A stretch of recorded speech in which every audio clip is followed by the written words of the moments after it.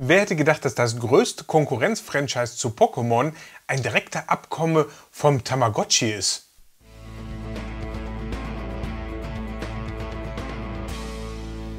Hallo und herzlich willkommen zu einer neuen Ausgabe von Johnny's World. Hier heute wieder aus dem Klemmbaustein TV Studio. Diesmal mit nicht einem, nicht zwei, nein, insgesamt vier Sets der Firma Sembo. Und zwar wissen wir ja alle, es gibt Klemmbaustein-Sets, die irgendwelchen hm, Computerspiellizenzen entspringen. Und zum Beispiel hier äh, Pokémon von Mega oder im äh, Ostmarkt, also auf dem asiatischen Markt, wird ja Pokémon über Cuman in der Lizenz erfüllt. Aber es gibt ja auch noch andere, ja, ich sag mal, Konkurrenten zu Pokémon. Und ja, ich sag mal, der bekannteste in diesem Bereich wird wahrscheinlich Digimon sein. Ich muss ganz ehrlich gestehen, ich kenne mich mit Digimon gar nicht aus und für mich war das immer so eine Nachmache von äh, Pokémon. Aber das ist gar nicht wahr. Ich habe mich da jetzt mal ein bisschen mit auseinandergesetzt, weil mir mehrere gesagt haben, dass Digimon eigentlich ganz cool ist und habe herausgefunden, dass das eigentlich in der Ahnenreihe zurückgeht auf das Tamagotchi. Ihr wisst, dieses nervige kleine piepende Elektronik-Ei aus den, ich glaube, 90er Jahren, was man immer füttern und streicheln und umhegen musste, sonst ist einem das Mistvieh verreckt. Und dann hatte man dann einen teuren Elektroschrott zu Hause rumliegen. Naja, und das hat sich dann weiterentwickelt hinterher zu Digimon. Erst waren das so quasi so ähnlich wie Tamagotchi, die man gegeneinander kämpfen kon äh, lassen konnte. Und dann hatten sich da Computerspiele zu entwickelt, dann ist eine Serie dazu gekommen, es sind ähm, weitere Computerspiele dazu gekommen, äh, sogar Kinofilme. Also es ist wirklich ein riesengroßes Franchise drum entstanden, mit dem ich mich gar nicht auskenne, muss ich fairerweise sagen. Aber es gibt eine Menge Fans da draußen, vor allem im asiatischen, japanischen Raum. Und so hat Sembo sich gedacht, coole Sache, die Lizenz schnappen wir uns und wir bringen ein paar schöne Klemmbaustein-Sets damit raus. Und da haben wir hier zum einen diese vier Sets. Alle überschaubar groß, aber irgendwie cool. Ne? Also. Ich muss gestehen, von Natur aus habe ich keine Ahnung, welche äh, Figuren und welche Digimon-Charaktere wir hier haben. Aber es gibt ja das Internet, deswegen konnte ich da ein bisschen nachschauen, was wir da haben. Wir haben hier, jetzt muss ich das einmal ein bisschen durchsortieren, weil ich kann das nur anhand der Artikelnummern hinterher herausfinden. So passt es. Okay. Ich habe mir nämlich hier eine Liste rausgeschrieben. Wir fangen hier an mit der äh, 60 63 17 und haben hier Sora Takenushi, ich hoffe, ich spreche es richtig aus, mit seinem treuen oder ihrem treuen Begleiter, ich glaube, es ist ein Mädel, ich bin mir nicht hundertprozentig sicher, Garudo, Garudamon. Äh, eine Weiterentwicklung aus Biomon. Also hört sich für mich jetzt an wie ein Mohnbrötchen, aber gut, das Kind braucht Namen, äh, so heißt er. Witzigerweise ist wirklich, die haben die ganz cool umgesetzt. Ne? Also wenn man sich hier die Zeichentrickfiguren anguckt und dann hinterher das, was wir hier bauen werden, das passt eigentlich ganz gut. Dann haben wir hier die Artikelnummer mit 18 am Ende. Das ist Matt Ishida mit seinem äh, Begleiter Vere Garurumon. Wie schon gesagt, ich habe keine Ahnung, wie die heißen. Aber den finde ich, der sieht richtig cool aus. Obwohl, den kann man eigentlich nicht sagen, die sehen alle echt klasse aus. Dann haben wir hier Taichi Yagami. Und der hat seinen Kumpel dabei, den Metal Greymon. Und hier haben wir Joey Kido mit äh, Sudomon. Also wenn ich irgendwas falsch geschrieben, äh, aufgesagt habe oder falsch benannt habe, äh, dann korrigiert mich bitte unten in den Kommentaren. Ich habe nämlich echt keine Ahnung, äh, was ich hier überhaupt gerade erzähle. Aber was mich wirklich fasziniert an diesen Sets hier, sind die Minifiguren, die dabei sind. Weil Sembo hat hier das erste Mal auch Bubblehead-Figuren in ihrem Sortiment. Jedenfalls, dass ich das so mitgekriegt habe. Und äh, deswegen zeige ich euch das mal. Also hier haben wir die Verpackung aus der Nähe. So sieht halt hier unser Vere irgendwas aus. Und so sieht er gebaut aus. Und guckt euch mal die Figur an. Die Figur erinnert echt hart an die Figuren von Cuman mit dem Bubblehead. Leider werden wir uns gleich dann nochmal aus der Nähe angucken, wenn sie aufgebaut haben. Werden die auch nicht in Deutschland Bestand haben gegen einen dänischen äh, Mitbewerber. Aber dazu gleich mehr. Ich würde mal sagen, wir bauen die jetzt nacheinander auf und dafür wechseln wir jetzt hier einmal gerade die Perspektive von der Kamera und ähm, ich habe bis jetzt hier nichts drauf gefunden, was ich wirklich verstehe. Also Teilemengen und sowas alles. Weil es scheint alles auf Japanisch hier drauf zu sein. Von daher gucken wir uns das gleich mal hier direkt aus der Nähe an und ähm, schauen mal, ob da vielleicht der Übersetzer irgendwas retten kann. Ansonsten recherchiere ich mal, wie viele Teile das Ganze hat. Schreibe es euch dann hier im Untertitel rein. Ähm, was die Preise angeht, ich habe die jetzt hier bei AliExpress gekauft mit Verpackungen, weil ich halt die Verpackung dabei haben wollte. In Verpackungen sind sie relativ teuer. Da liegen die so bei 15 Euro äh, das Set. Wenn ihr nur die, die Figuren und die Bausteine haben wollt, wird es dementsprechend erheblich günstiger. Müsst ihr dann mal ein bisschen schauen. Verlinken werde ich dazu nichts, weil ich keine Links mehr zu AliExpress mache. Aber ihr könnt natürlich auch so die üblichen anderen Anbieter mal abklappern. Ich denke mal, wenn ihr hier Digimon-Fan seid, würdet ihr die unter Garantie mit ein bisschen Mühe auch bekommen. Aber jetzt schauen wir erstmal, ob es sich überhaupt lohnt, sich die Mühe zu machen. So, hier haben wir nochmal unsere vier Digimon-Packungen. Ab 6. Tja, viel informativer es hier vorne drauf leider nicht.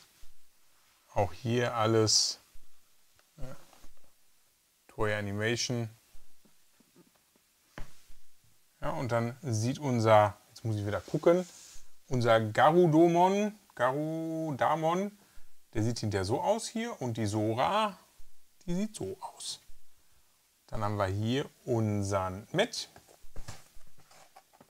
Der sieht dann hinterher so aus. Daichi verändert sich. Ups, hab da gar nicht richtig drauf gehabt. So. Und dann haben wir hier noch Joey, der sich dann so verändert. Und wir fangen jetzt mal hier an mit unserer Sora. Und ich stelle euch mal gerade hier ab und dann machen wir das auf. So, hier haben wir die Packung. Ich habe hier bis jetzt noch nichts gefunden, was Teile sind. Das wird heißen ab sechs Jahre.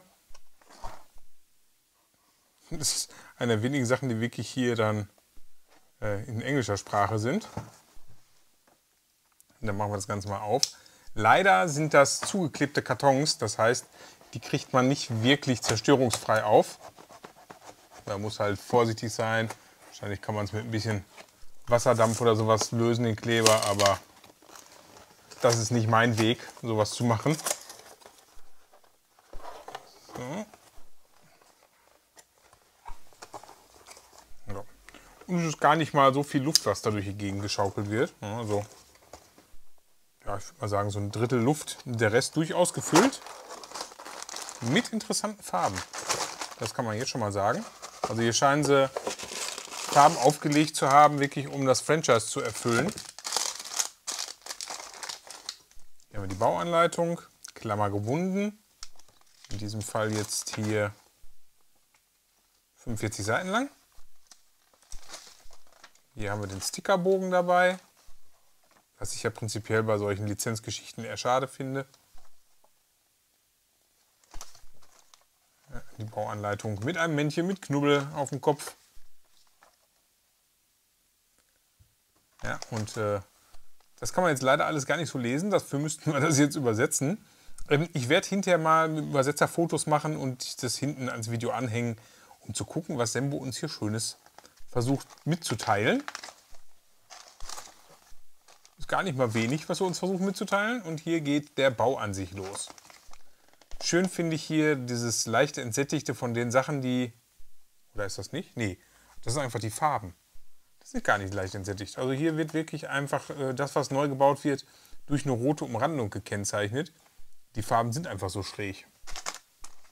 Ich bin gespannt, wie das hinterher aussieht, hier das gute Stück. Aber als allererstes möchte ich mir natürlich jetzt die Minifigur angucken. Weil da bin ich am gespanntesten drauf. So, hier haben wir die Einzelteile von der Minifigur und äh, ihr seht schon, die hat Gelenke an den Armen. Das heißt, die wird ähm, ein bisschen beweglicher sein als die Standardfiguren, die man sonst so kennt.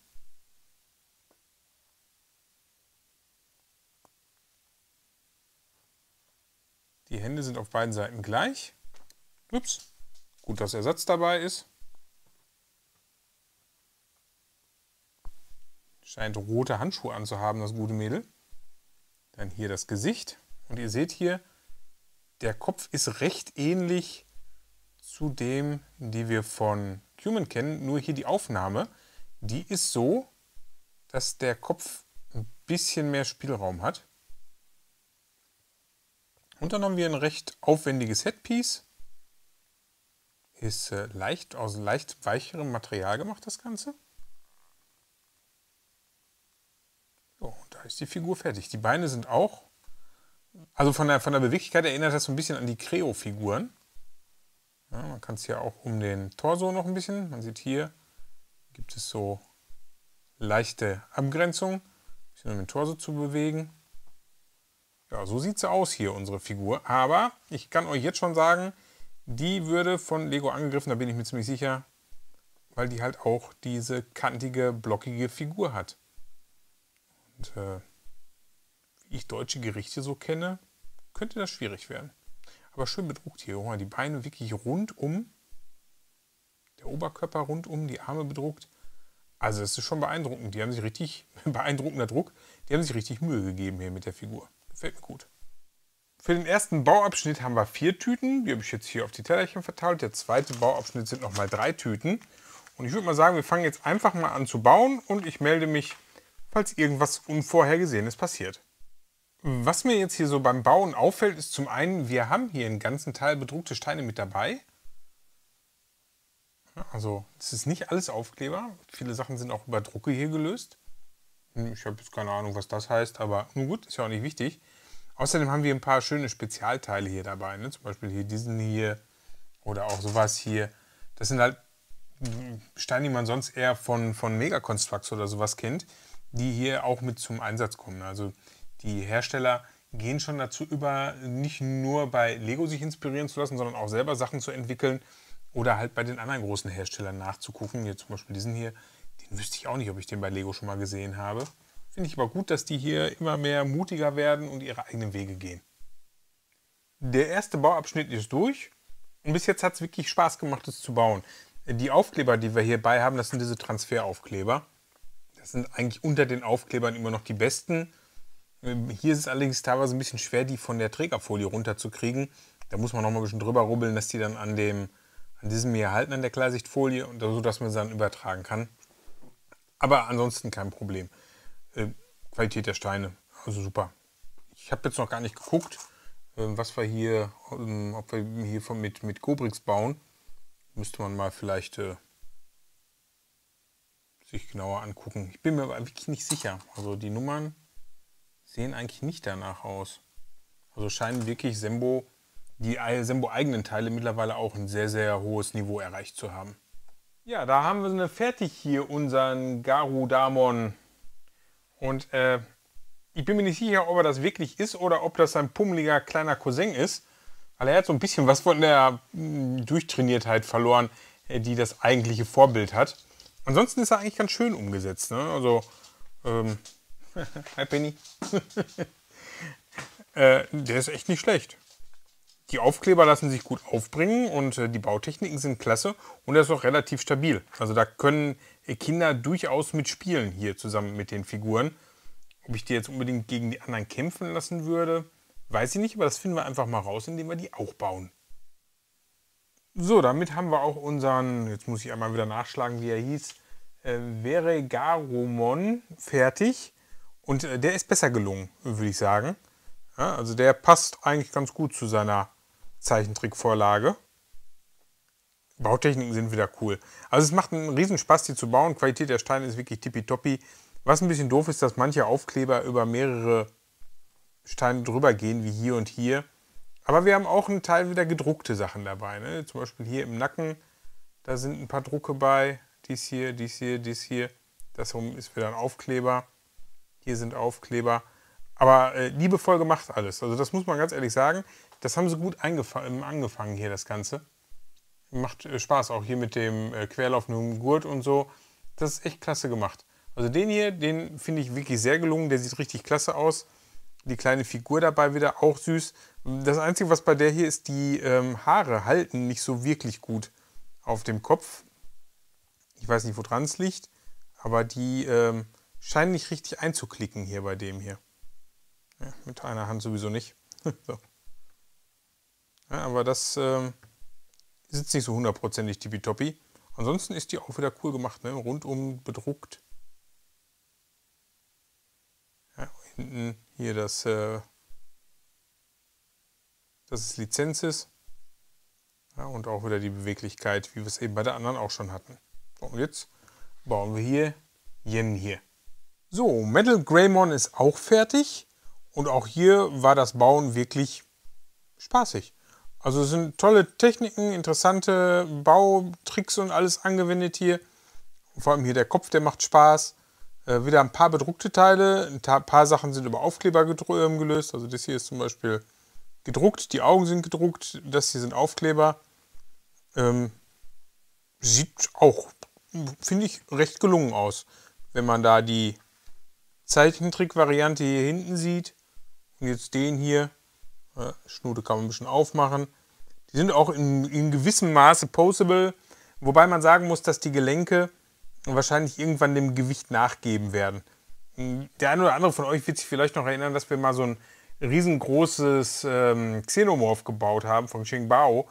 Der ist bei mir auch dem zum Opfer gefallen, dass irgendwann die Gelenke nachgegeben haben. Das wird wahrscheinlich hier auch passieren. Momentan halten sie erstmal und es sieht gut aus und man kann es ungefähr hinstellen, wie man möchte. Und jetzt kommen wir hier zu dem letzten. Das ist der Joey Kido. Hier sitzt er als Minifigur. Hier haben wir schon die Teile für den ersten Bauabschnitt auf den Tellern liegen. Brauche ich noch aus den Tüten rausmachen. Dann schauen wir mal, wie sein Sudomon hinterher aussieht. So, und dann haben wir auch den letzten fertig. Hier die 609320, den Joey Kido mit Sudomon. Und äh, ja, die Figur hatte ich euch ja schon gezeigt. Die finde ich richtig gelungen. Die Haare waren erst ein bisschen verbogen, aber äh, wenn man dann den Kopf einzeln nimmt, um das reinzufriemeln, passt das wieder. Die sind halt alle aus einem gummiartigen Material, ne? Und dann passt das wieder und sieht auch echt klasse aus. Auch hier. Ne? Also die sind allgemein echt dazu gleich im Fazit mehr. Dann haben wir hier unseren Digimon fertig und der ist auch wirklich gelungen. Wenn man da jetzt dann hier den hier dann dazu sieht, haben sie das wirklich schön umgesetzt. Hier die, die Schlappöhrchen, die sind ein bisschen lang geworden, aber da haben sie wahrscheinlich versucht, das Geknickte reinzukriegen. Ansonsten ist das wirklich schön umgesetzt hier mit den Zacken hinten auf dem Rücken, auf seinem Schildkrötenpanzer, äh, den Zottels hier von dem Pelz, den er anhat und so und die Füße und die Krallen und der dicke Hammer und so. Äh, sehr gut. Viel besser eigentlich, als er hier hinten auf der Packung aussieht. Auf der Packung sieht es aus wie ein wilder Haufen Klemmbausteine. Aber wenn man ihn dann wirklich sieht und gebaut hat, da passt er wirklich sehr schön. Ja, und damit haben wir alle vier fertig und äh, wir stellen die jetzt mal hier zusammen hin und kommen dann zum Fazit. Ja, und da haben wir sie alle fertig, alle vier aus der Digimon-Serie hier von Sembo. Und fangen wir mal mit den Figuren an, weil die finde ich richtig, richtig klasse. Zum einen sind sie natürlich sehr beweglich hier mit den äh, Balljoints an den Armen und den Beinen. Allerdings hat die Erfahrung gezeigt, dass das für den Spielbetrieb gar nicht so cool ist, weil die relativ fix ausleiern. Und dann hat man dann so äh, Marionettenpuppen. Die Gesichter und die Köpfe finde ich schön designt. Das ist klasse. Und die Kopfbedeckungen sind der Knaller. Äh, auch wenn dieses äh, Weichgummizeug, was sie dafür nehmen, nicht immer hundertprozentig optimal ist für den Halt auf den Köpfen. Äh, hier der Blonde, der Matt, bei dem merkt man das besonders. Ähm, bei dem Kido, Joey Kido, da musste ich ein bisschen Freemiums reinzukriegen. Und hier bei dem äh, Daichi, da war das so, ist es sogar zweiteilig. Ne? Also die Haare, die oben rausgucken, ist nochmal ein eigenes Teil. Die Drucke sind der Hammer. Ne? Wirklich umlaufend. Äh, super cool. Also das sind mit die coolsten Drucke, die ich bei irgendwelchen Figuren in letzter Zeit so gesehen habe. Out of the box, also keine Spezialanfertigung oder sowas. Da haben sie wirklich mal richtig hingelangt. Das Einzige, was nicht rundum bedruckt ist, sind die Arme. Ja, ansonsten wirklich richtig, richtig klasse gemacht. Also ich bin begeistert. Ne? Hier sieht man so ein bisschen hier bei dem äh, Joy, dass das halt mehrere Druckdurchgänge sind. Da passt es nicht hundertprozentig aufeinander. Aber das ist verzeihlich. Man guckt euch mal die Füße an hier. Ne? Wie aufwendig das gemacht ist. Also das, äh, da haben sich welche richtig ausgetobt. Ansonsten finde ich die Figuren echt gelungen. Allerdings bin ich der festen Überzeugung, dass die so, wie sie jetzt hier sind, vor deutschen Gerichten nicht standhalten würden. Das heißt, äh, die wird hier keiner in Deutschland in Ruhe importieren können, ohne dass da der große Däne äh, hinterher draufschlägt. Aber für Leute, die für ihre Figurensammlung noch was suchen. Ne? Also die sagen hier möglichst viele verschiedene Minifigurenarten möchte ich mal sammeln. Ist das hier ein absolutes Must-Have, weil die echt klasse sind. Äh, für Digimon-Fans ist das Ganze hier sowieso geil. Das muss man ganz klar sagen. Die Umsetzung der Figuren in Klemmbausteinen finde ich fast durchgängig gelungen. Hier bei dem ähm, Garudomon, glaube ich, heißt er, da fehlen eigentlich die Unterschenkel. Ja, wenn ihr euch das jetzt so anguckt hier, der hat, äh, dann wäre der auch höher und würde schlanker rüberkommen. Ja, dann würde das passen. Ansonsten ist er eigentlich gut umgesetzt. Nur dem fehlt halt hier wirklich noch was, um mehr in die Höhe zu kommen. Ne? Weil er ist hier sehr hoch gewachsen und hier sieht er aus, als wäre er hier der Zwergenvertreter seiner Familie. Nun ja, äh, der hier, den finde ich hammergut gelungen. Und die beiden, die passen auch sehr gut. Also da haben die Designer wirklich ganze Arbeit geleistet. Die Qualität der Steine ist top. Es lässt sich super mitbauen. Äh, manche Bautechniken sind ein bisschen abenteuerlich. Hier zum Beispiel der Schildkrötenpanzer, der ist mir ein paar Mal wieder abgefallen. Äh, das lag aber nicht an der Qualität der Steine oder irgendwie sowas, sondern einfach wirklich daran, dass das ähm, sehr auf Optik gemacht ist. Ne? Also ich sag mal, die drei, mit denen kann man spielen. Bei dem hier, da wird wahrscheinlich der Panzer immer mal wieder abfallen. Aber ansonsten toll. Also ich finde die wirklich richtig super. Und das sage ich, obwohl ich von Digimon gar keine Ahnung habe. Also ich bin kein Fan des Franchises und ich wusste bis vor kurzem gar nicht, dass es da ein Franchise so richtig in der epischen Breite gibt, wie ich das jetzt bei den Recherchen festgestellt habe. Also das ist ja wirklich ein kompletter eigener Industriezweig, der immer noch beliebt und lebendig ist. Ja, also das äh, ist hier in Europa nicht annähernd so erfolgreich wie im asiatischen Raum und deswegen scheint diese Serie auch hier nur für den asiatischen Raum aufgelegt worden zu sein. Die Beschriftung, glaube ich, also laut meinem Übersetzer ist es chinesisch. So scheint das Ganze wohl für den chinesischen Markt gemacht zu sein. Was mich auch wundert, in Japan würde das wahrscheinlich auch sehr gut laufen, könnte ich mir vorstellen. Vielleicht gibt es ja andere Packungen, ich kann es euch nicht sagen. Aber auf alle Fälle, für alle, die Digimon-Fans sind, ist äh, das Ganze hier toll. Gefehlt hat nichts, das waren die Teile, die über sind. Sie gehen hier so ein bisschen äh, den Weg, den ähm, Mega auch geht. Das heißt also, besondere Teile liegen mehrfach dabei. Noch für Ersatz und in jedem war einer von diesen Teiletrennern dabei. Ja, also gibt es wieder im Stein gemachtes äh, Teiletrenner für umsonst. Und ansonsten, ja top. Also für jemanden, der Digimon-Fan ist, Bauspaß haben, ins Regal stellen, super. Ja, es sind Aufkleber dabei, zum Teil Drucke, aber die Aufkleber sind die, die ich am liebsten mag, diese Folientransferaufkleber, die wirklich dann hinterher fast aussehen wie Drucke und auch dann sehr gut halten, wenn sie einmal aufgebracht worden sind. Sind mir, wenn schon, Aufkleber definitiv die liebsten. Ja, das äh, war es hier äh, von mir an dieser Stelle. Also für mich war das hier rundum äh, ein gelungener Bauspaß, muss man sagen. Schreibt mir mal unten in die Kommentare, was haltet ihr von der Serie? Was haltet ihr von Digimon? Sagt ihr, juckt mich gar nicht? Oder sagt ihr, äh, kannte ich eigentlich vorher nicht, aber die Figuren und die äh, gebauten Digimon sind echt cool. Habt ihr vielleicht selber schon was davon gebaut? Dann schreibt mir hier über eure Erfahrungen zu der ganzen Sache. Und äh, ansonsten bleibt mir nur, euch noch einen schönen Tag zu wünschen. Viel Spaß mit euren eigenen Bauprojekten. Wir hören und sehen voneinander. Bis bald. Tschüss.